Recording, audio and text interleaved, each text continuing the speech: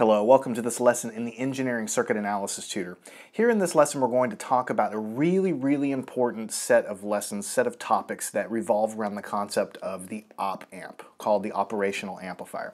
So in this lesson what I want to do, just to get started, is give you some motivation, give you some, some, some uh, reason to be excited about learning an op amp, because really it is one of the coolest things you'll learn uh, along your studies.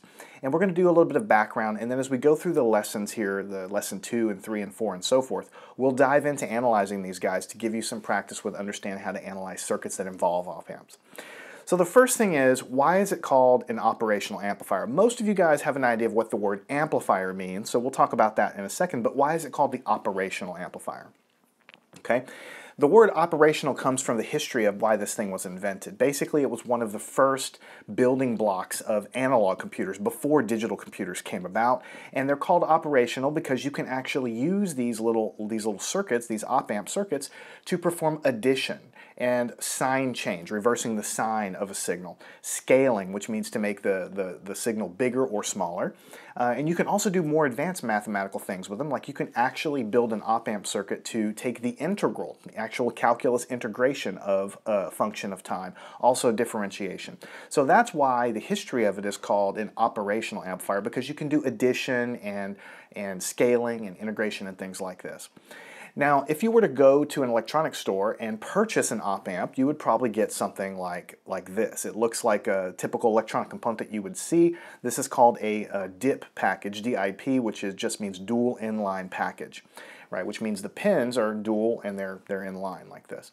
Now the most popular op amp that you're going to find, certainly there are hundreds and hundreds, maybe even thousands of different types of op amps for different applications, but the most common one that you're going to find, the one that you're going to study in your in introductory classes like this, is called the 741 op amp. Usually has the, the prefix micro, I put a U here, but it's micro A, and that just means that it's a microcircuit fabrication. You got to remember this was invented decades ago. The first op amp was invented decades ago when microcircuit, integrated circuit, was a kind of a new thing. So it's usually called a microamp or micro A uh, fabrication 741. Usually you just call it 741 op amp for short.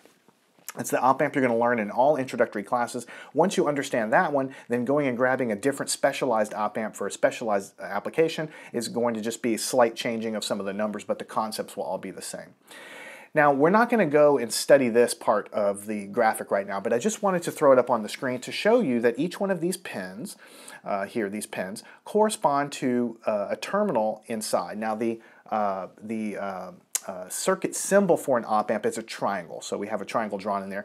Basically, you have some inputs, and we're going to talk a whole lot about what those inputs are, but we send signals into the op amp on the input side on the left, and the op amp performs some, you know, uh, we'll talk about it later, but some operations on it, and then we have an output signal, and that output signal could be making it bigger, making it smaller, doing various things. Now there's a whole lot of details here. This circuit uh, symbol here is just a triangle, but in reality inside of this op amp is a bunch of transistors. So what we're going to do, since you haven't learned what a transistor is yet, is we're going to study this op amp circuit from a black box point of view. In other words, we're going to draw a box around here and we're going to learn how to use these circuits without really knowing the details of what's going on inside. And I know that seems a little bit weird because up till now in all of your analysis, circuit analysis training, we have spent a lot of time mathematically deriving everything so that you really understand what's going on. And then here I tell you, oh, we have a black box, so sorry, you don't know what's going on inside of there. But the reality of it is there's a lot of really good reasons why we do it this way because you have to start somewhere and you're not going to learn transistors for, for quite a, a while. And you can build practical circuits without really understanding the details of the inside. Then later on, when you get to diodes and transistors, you'll know how to build the circuit that's inside of this box and even more complicated circuits. So that's what I'm going to do now. Let's go and, and take just a second before we close the lesson out to, to draw a few pictures to understand how we can use op amps. And then keep in mind as we move through the lessons, we'll be diving into to analysis of how we put these in our circuits and figure out what they're going to do. So follow me on and we'll do that right now. Now what we want to do right now is just get a little motivation for understanding how we're going to eventually use these guys in circuits. So I want to just make sure you understand how, I listed them all, but I want you to understand how we can potentially use them. So let's do that now.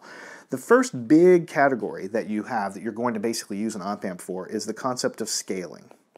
This is what you really think of when you think of the concept of an amplifier. An amplifier, most people think of making things louder, which is what scaling is.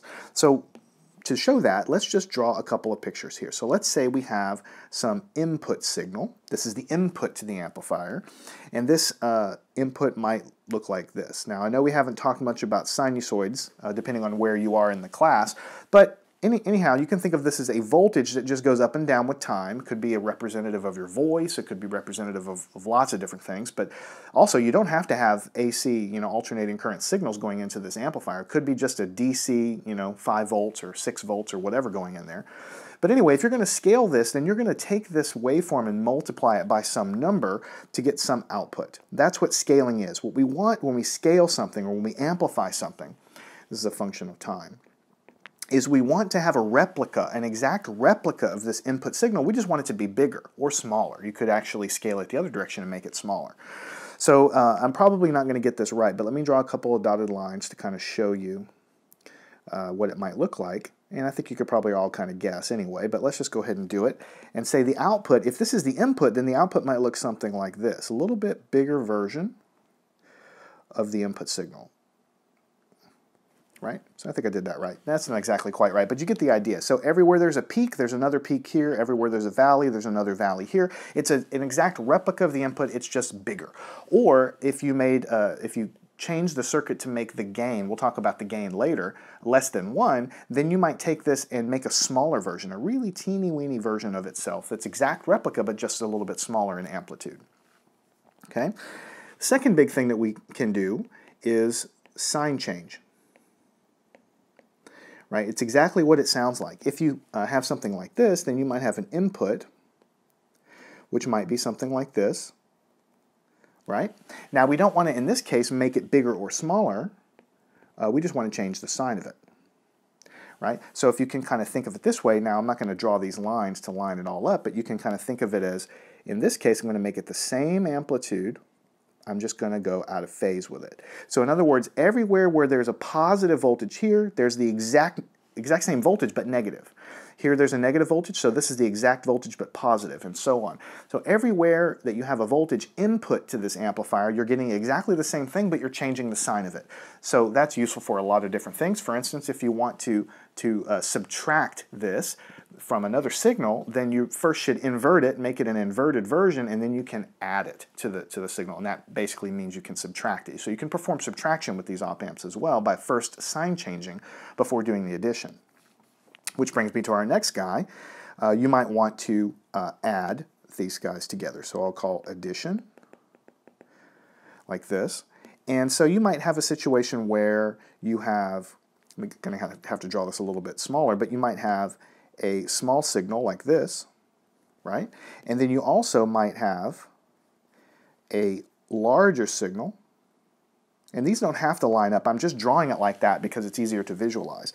So you might want to add these guys together, literally add them. So what that means when you have addition going on is that every point in time, don't forget this is a function of time right here. This is a voltage over here on the left. So as time goes on, here is a value of the voltage here at this time, and here's the value of the voltage of the other signal that I'm adding to it. So in this case, maybe I have two microphones. This is microphone A, microphone B, and I want to add them together.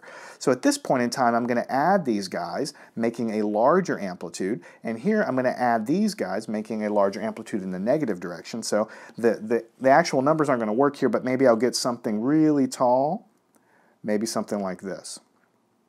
And again, I'm not really lining this up properly because I'm freehanding it, but you can kind of see the point here. You're adding this to this and you're getting a negative. You're adding this to this, supposed to be adding up to this and so on. So you can do addition with op amps. And then the last case I'm going to just briefly touch on is the concept of uh, integrating.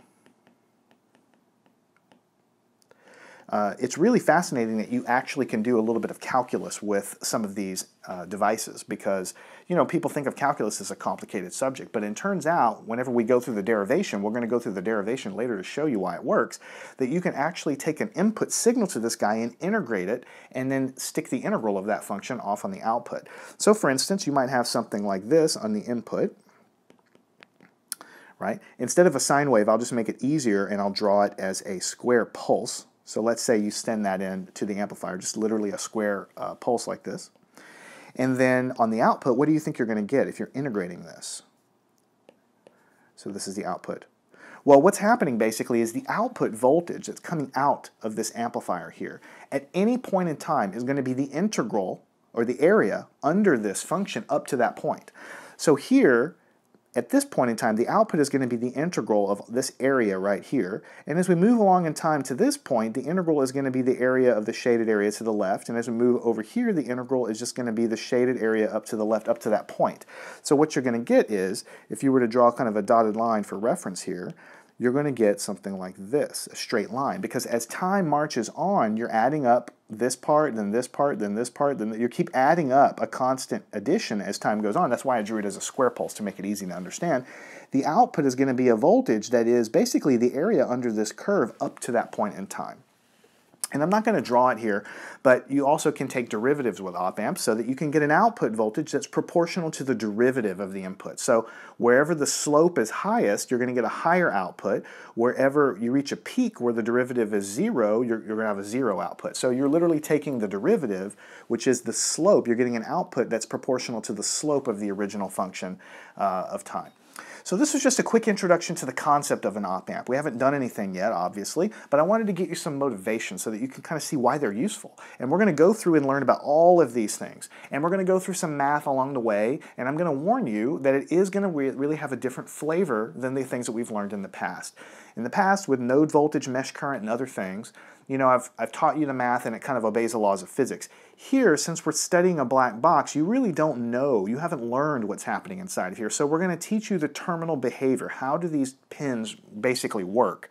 And from that, we're going to be able to, to do the analysis, but it is going to have a slightly different flavor from what we've used in the past. The good news is, once you understand the rules, you'll quickly know how to construct a circuit that's going to give you a sign change. We'll quickly know how to construct a circuit that amplifies something or that adds two signals together or that integrates something. So we have some derivations along the way, but at the end of the day, you're going to come out of this set of lessons with some tools where you could actually go to the store and buy one of these things and build an amplifier, which is pretty cool. So that's what we're going to do in this set of lessons. I'm Jason, follow me on, and as we go through the series on op amps, we'll learn how to, to use them in electrical engineering step by step.